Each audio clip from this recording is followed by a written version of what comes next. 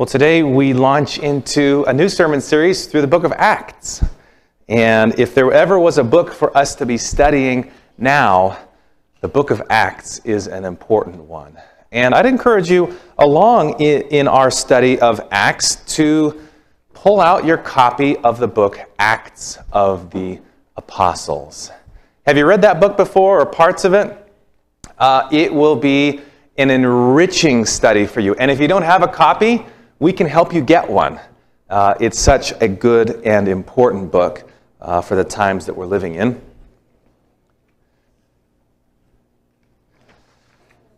In many Bibles, the book of Acts is titled Acts of the Apostles, but actually, its earliest title is just the word Acts. Uh, and it's rather fitting to call it just Acts because if you think about all the 11 apostles, and then when you add in uh, the 12th, which chapter 1 talks about, and then later on, the apostle Paul calls himself an apostle, uh, the book of Acts really only covers a couple of apostles. And, and out of the apostles that are covered, it's really mostly Paul towards the later end of things. Uh, and so it's more fitting, I think, that it was originally just titled Acts. Um, and who's the author of the book of Acts? Luke, right. Uh, in fact, the first chapter of Acts actually kind of covers some of the same ground and gives us some new details that the, the end, the last chapter of the book of Luke covers. Uh, and Luke, we're told in Scripture, was sometimes a, a companion of the Apostle Paul. So it's very fitting that when he writes a book that has acts, that includes acts of some of the apostles, that he would write from his own experience. He's not writing about people he's never met or, or only distantly heard about. He's writing about events, some of which he was there firsthand to witness himself. Acts was written probably in 62, 63 AD before the death of Paul, although there are some who say it could have been written afterwards. If you're familiar with the end of the book of Acts, Paul is not yet dead by the time the book ends, but of course we know it's not too much later that he's killed um, in Rome. But some have said, you know what, it doesn't really matter. Paul could have been dead, and Luke may have chosen to leave the book open ended. Um, because really, when you think about it, the story of the church doesn't end with the story of Paul, it doesn't end with the story of Peter. The story of the church is still going. Amen? And, and you and I are a part of the story of the church. So, my question as we dive into this new book, this new series, what would you like the church historians to write about your part in the story of the church today? He warmed the pew really well. right? No. I wanted to say something about how they used their skills, their talents, their abilities. Uh, they were a prayer warrior. Uh, we don't all have the same talents and gifts and abilities, do we? But all of us, as we've talked about before, can do something. So, as we dive into Acts chapter 1 this morning, let's remember we're a part of this story also. Uh, and we can be inspired by what has come before as we continue moving forward. Acts chapter 1, verse 1, it says, The former account I made, O Theophilus, of all that Jesus began both to do and teach, until the day in which he was taken up and through the Holy Spirit had given commandments to the apostles whom he had chosen. We covered these first few verses previously, so we're not going to spend much time on them. But Jesus just began the work. He didn't finish the work. Luke didn't say he finished the work, he said he just began it. Um, the work is not finished yet. Otherwise, Jesus would be here, and we'd, or we'd be in heaven with Jesus right now. The work still continues.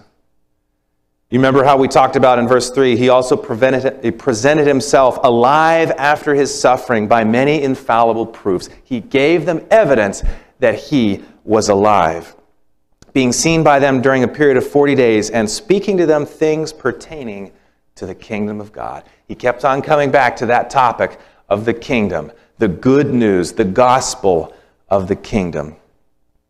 But then we get to verse 4.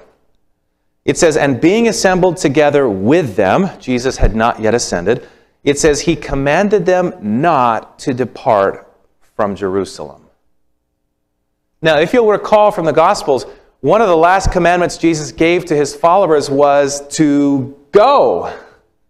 Get out of here. Spread the good news. But he also gave another command before you go, stay. That's kind of confusing, huh? Before you get out of here, you have to stay here. In fact, before you can leave, you must stay. Before you can preach, you've got to pray. Before they can win thousands of souls, they had to search their own souls first. Before they could be filled by the Spirit, they first had to be emptied of self. There was an important work of preparation to do. You know, we, we're used to like preparation, especially as I'm starting to get a little bit older. I'm realizing, you know, it's good to warm up. I went climbing yesterday with Sarah at the gym, and I didn't warm up at all because when we go there, we only have a very brief window of time. Uh, as we've got Emmeline with us, and it's a joy, but she, you know, is not yet able to be content for long periods of time uh, without significant help. She needs naps, she needs food, and so we try to climb as quick as we can. But when I get to the gym, I don't want to spend a long time warming up. But sometimes if you don't warm up, then you feel it later. Uh, those minutes and moments warming up can be important for the long term success. Jesus knew that there was a, an, a vital message, but before sending them out, they had to spend time in prayer. They had to spend time um, confessing their sins. They had to spend time being united together. They had to spend time waiting and preparing for the Holy Spirit. He said, Don't leave. Wait for the promise of the Father, which he said, You have heard from me. Verse 5 For John truly baptized with water, but you shall be baptized with what? With the Holy Spirit not many days from now. Just hang on a little bit longer. And the Holy Spirit is going to come on you in a powerful way. Now, had the, whole, had the disciples already been filled to some extent by the Holy Spirit? Absolutely.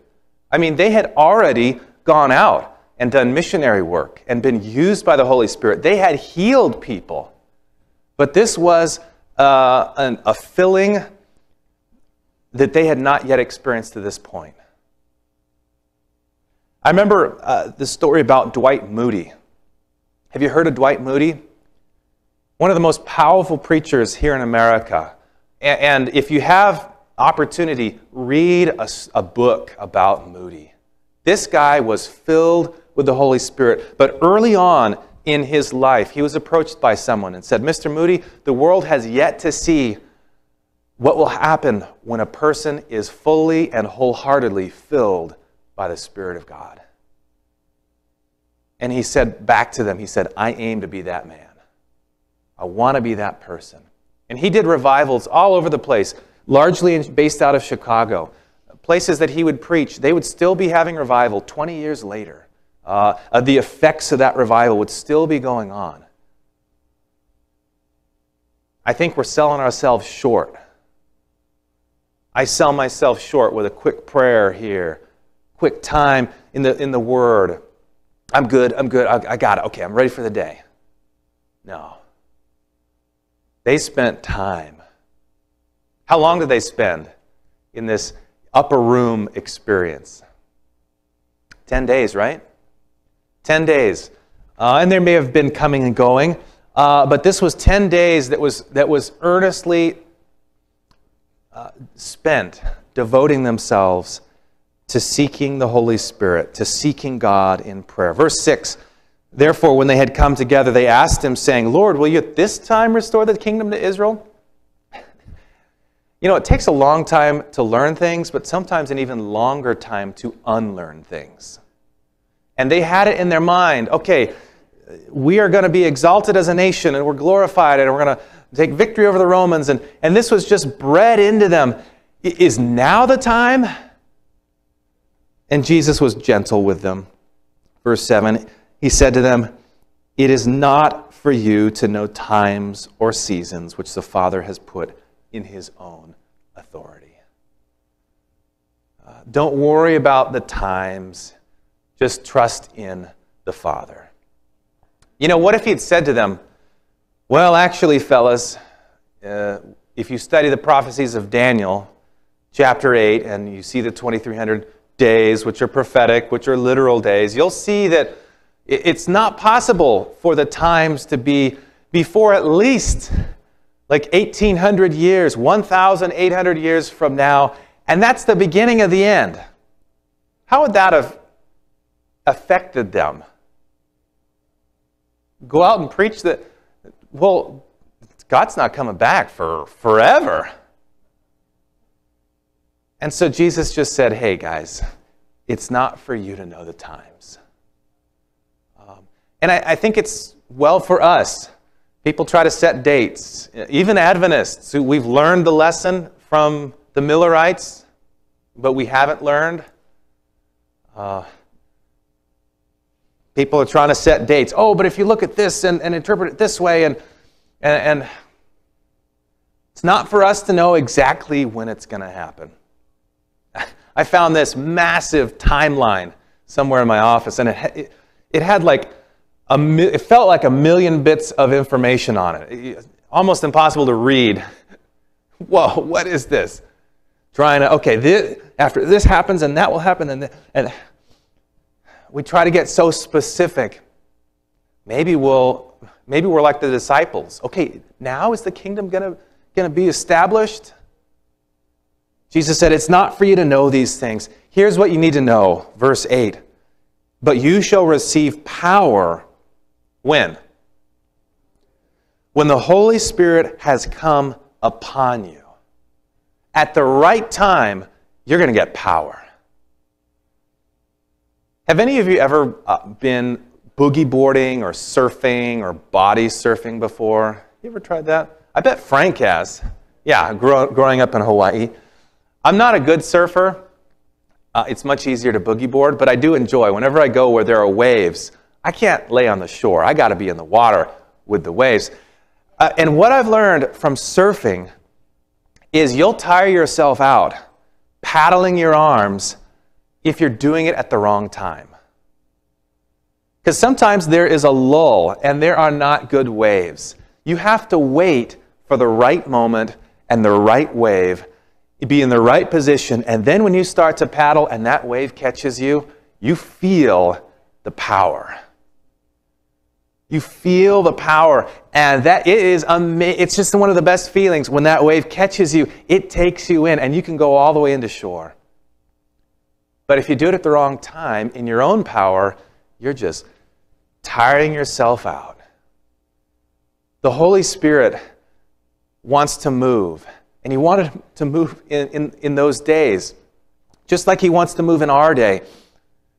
But if we're not waiting day by day, seeking day by day, uh, if we're not going in cooperation and harmony with the Holy Spirit, we're going to be doing a whole bunch of things and we're not going to be having the impact we want to have. Jesus says, You will receive power. Holy Spirit, there, uh, the, the word there for power is dunamis in Greek, from which we get the English word dynamite. The Holy Spirit is like dynamite. What do you need more power for in your life? What do you need more power for? To witness. Yeah, that's the purpose. It's not power of the Holy Spirit so I can be a better rock climber. Right? Although I want to be a witness while I'm climbing. The, the Holy Spirit was given because the, the work of spreading the gospel to the world is impossible in our own strength. We need more power. They needed more power. And so Jesus says there's going to be dynamite power on you when the Holy Spirit comes upon you, and you will be witnesses. Greek word there, uh, marturas, from which the word martyr comes. Uh, but it didn't have the meaning of you're going to give up your life to death. You're just going to be my witness. And then eventually, apparently later on, the witnesses ended up resulting in giving their lives. But Jesus says, You're going to be my witness. In, in what locations? Starting in Jerusalem, moving on to where? Judea, and then Samaria, and finally where? To the ends of the earth. These are concentric circles expanding like a ripple in a pond. You throw a rock into a pond, and the, the rings, the ripples go further and further out. They were to start right there in Jerusalem. And this is actually a good kind of template for us when we try to be a witness. Who should we start with? Well, the people that are closest to us family, friends, close associates, people that we already have a close connection to. We can invite them to the, to the Camp Wawona if they're kids, neighbor kids, invite them to the Camp Wawona experience at CVCA. $20? Powerful. Uh, and there may be uh, a vacation Bible school that's going to be happening soon also. Uh, start with the people that are closest to you and then move on out. People else, uh, elsewhere in your neighborhood or your workplace, people that you meet in, in, in town, um, people that uh, expanding further and further. Interestingly enough, as you read the book of Acts, this is kind of a, a, an outline for the book of Acts. The first seven chapters deal with events surrounding Jerusalem. Um, and then the next couple of chapters deal with events that are a little bit further out. And the last portion of Acts, the final chapters, deal with the greater extent of the Roman world. God wanted them to have power. He wants us to have power. And he had a couple more instructions for them in verse 9. He said, uh, it says, When he had spoken these things, while they watched, he was taken up. And a cloud received him out of their sight. And while they looked steadfastly toward heaven as he went up, behold, two men stood by them in white apparel, who also said to them, Men of Galilee, why do you stand gazing up into heaven? What are you doing? Just staring. He's given you some commandments. Stay and then go. Why do you stand gazing? This same Jesus who is taking up from you into heaven will so come in like manner as you saw him go into heaven. He's coming back. How did he go up? Well, literally, visibly, personably, audibly. He's coming back that way, not secretly, silently, invisibly. Why are you just standing here? He's coming back. And so they did, they did what Jesus said. Verse 12 They returned to Jerusalem from the Mount of Olivet, which is near Jerusalem, a Sabbath day's journey. Sabbath day's journey was a practice in those days, just a tradition. There was no biblical basis for it. And it was about 3,000 feet or so. So they could go 3,000 feet on the Sabbath. So most of us could not make it to church if that was a biblical command because probably none of us live that close. We don't even have anybody living in the house anymore. Um, it, it, may be that the 3,000 feet came from a, a, a rabbinic belief that that was the furthest distance somebody in the wilderness during Moses' day would have to travel to get to the sanctuary on the Sabbath. So you can go that far and no further. But, anyways, they traveled back to Jerusalem. Verse 13, and when they entered, they went into the upper room where they were staying. Who was there? Peter, James, John, Andrew, Philip, Bartholomew, Thomas, and Bartholomew and Matthew, James the son of Alphaeus and Simon the Zealot, and Judas the son of James. The eleven apostles were there. But notice who else was there. Verse 14 These all continued with one accord in prayer and supplication with the women and Mary, the mother of Jesus, and with his who? His brothers. And that's remarkable. Because if you read the Gospels, the brothers of Jesus, they were not convinced. They were aloof concerning his ministry. They didn't seem to believe in him, certainly not as Messiah or as God.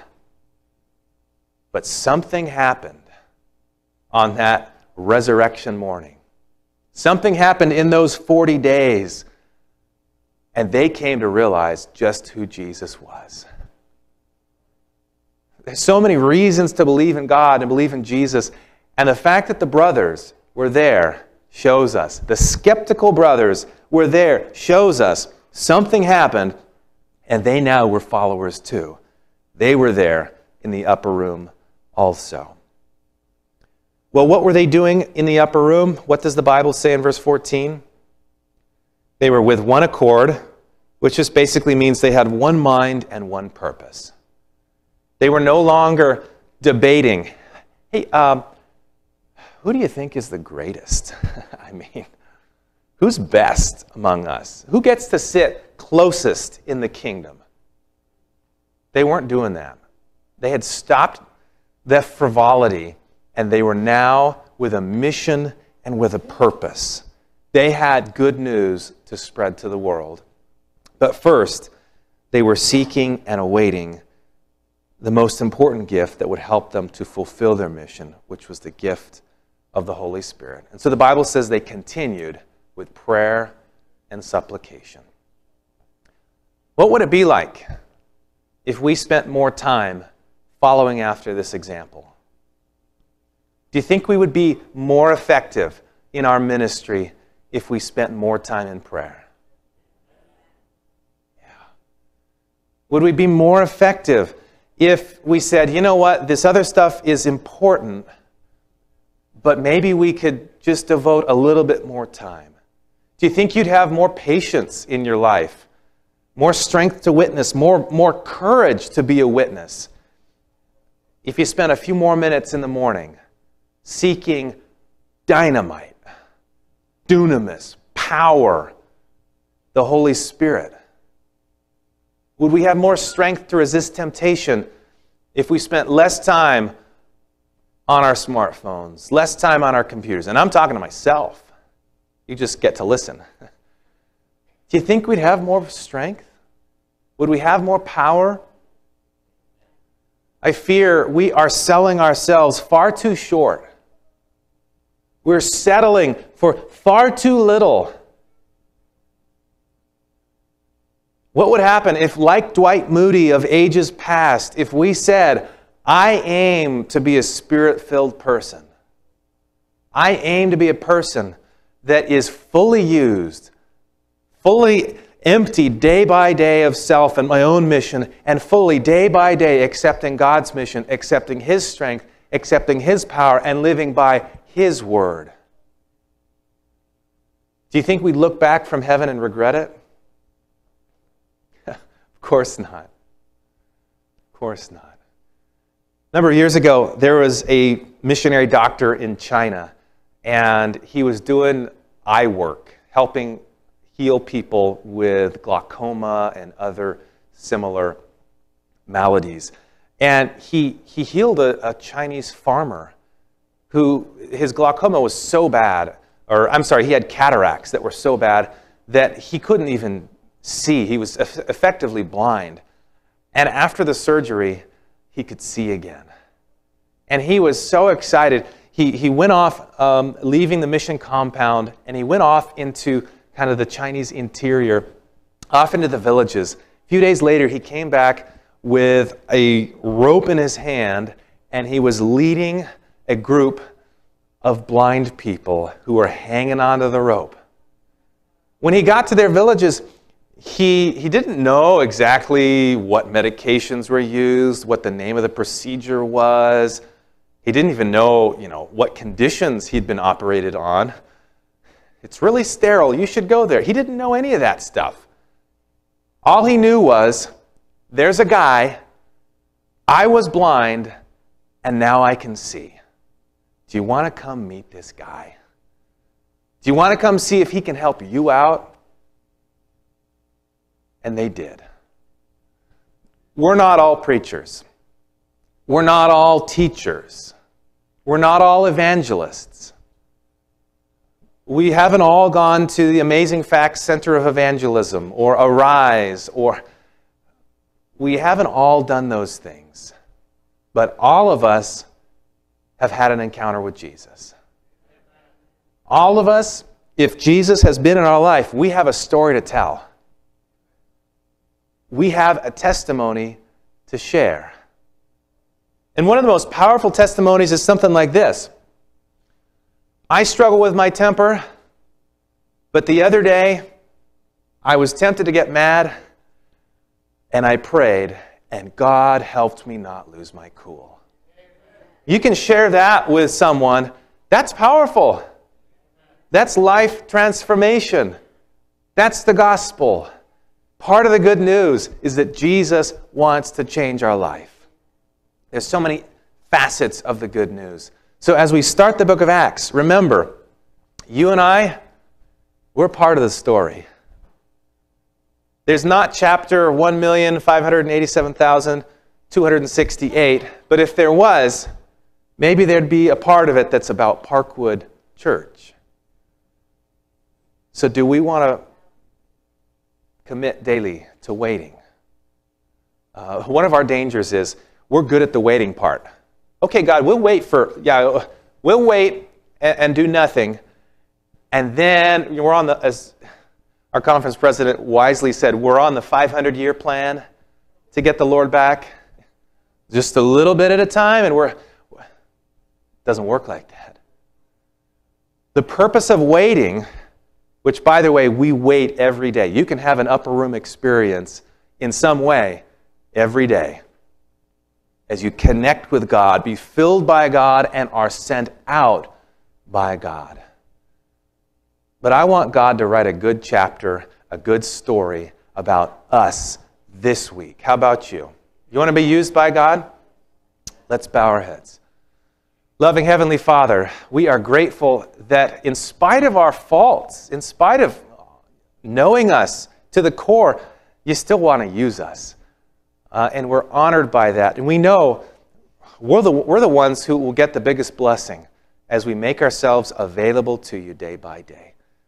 So, Lord, help us to seek you more earnestly that we do. If there are things, Holy Spirit quenching activities or things in our life, point them out to us. Because we can't be allowing the Spirit to be quenched. We need to be filled. We need that power. And Lord, we're going to look back in heaven someday with great joy at the way that you used us. So give us um, what we need, equip us, and give us courage and opportunities and boldness this week as we tell others about you and how good you are. This is our prayer. In Jesus' name, let all of God's servants say, Amen.